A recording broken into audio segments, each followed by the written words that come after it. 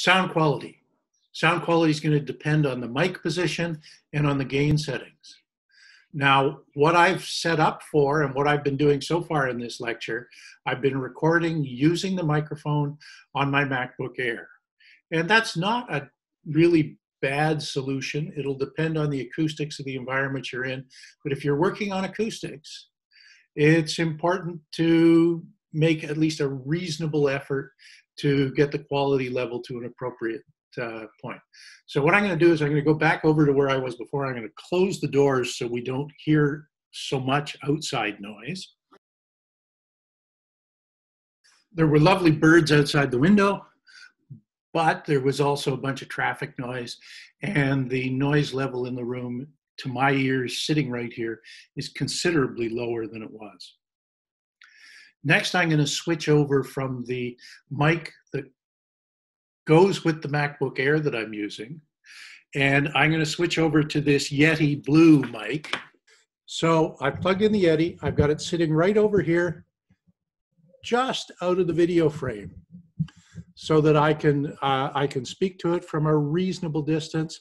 I've got the gain setting right now is set at a relatively low gain, and I've got Zoom uh, on the automatic gain setting for sound, and that should do a reasonably good job. But you may need to experiment with that. I've placed the Yeti mic, and I'm hoping that what I hear on the recording when I'm done is adequate for the objectives. Now, we've done surveying of students, and we found that they're not looking for absolute professional, fully slick production quality video. And that's a really lucky thing because as instructors, we're going to be hard pressed to deliver that. The people in the ETLT, given a lot of time and, and a lot of effort, can get closer to that than we can. But our target should be to be adequate so that we're not distracting students from having effective learning and a good student experience. Don't make them strain to hear what you're saying. Don't distract them with a mic that's booming unnecessarily. Don't spend too much time trying to optimize uh, the the quality to get to studio quality because you're not going to achieve that in your office or in your home and people will understand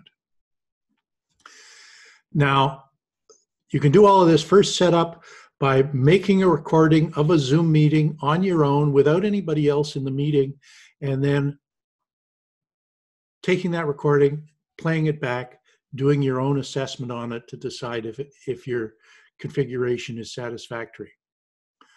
Once you got to that stage, you really need to get some of the people at the uh, teaching and learning team to help you make sure that you're meeting those standards at the student end of the pipeline.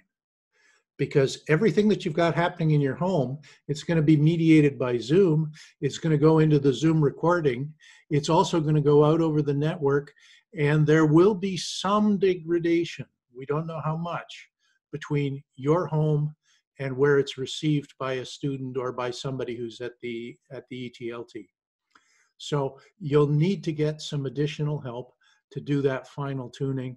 Use their expertise. Get them to give you advice so that you can, with minimum effort, get your output quality up to a level that you can feel proud of. In our next video, we'll set up some feeds and do a test run to bring it all together.